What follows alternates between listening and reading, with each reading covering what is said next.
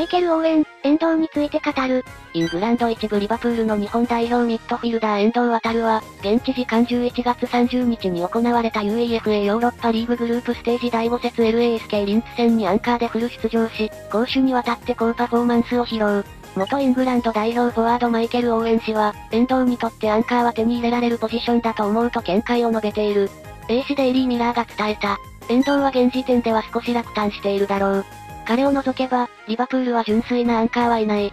それでも、彼らはマック・アリスターをビッグゲームでそのポジションにコンバートさせている。だから、そのポジションを自分のものにできなかったことに少しがっかりしていると思う。夏に失ったファビーニョよりも1ランク下がることになるだろうと指摘。それは手に入れられるポジションだと思う。これまでセンセーショナルなことをしたわけではないが、うまくやってきた。これは得意なポジションであり、多くのことをしなければならない。ボールを快適にコントロールしながら起点となり、危険を察知し、ストライカーへボールを届けなければならないと見解を述べた。オーレジェンドのお言葉。これはありがたいね。ワンダーボーイの言葉は刺さるぜ。遠藤実際良かったしな。そろそろ適応するんちゃう？アンカーでポジション取れないと終わりよ。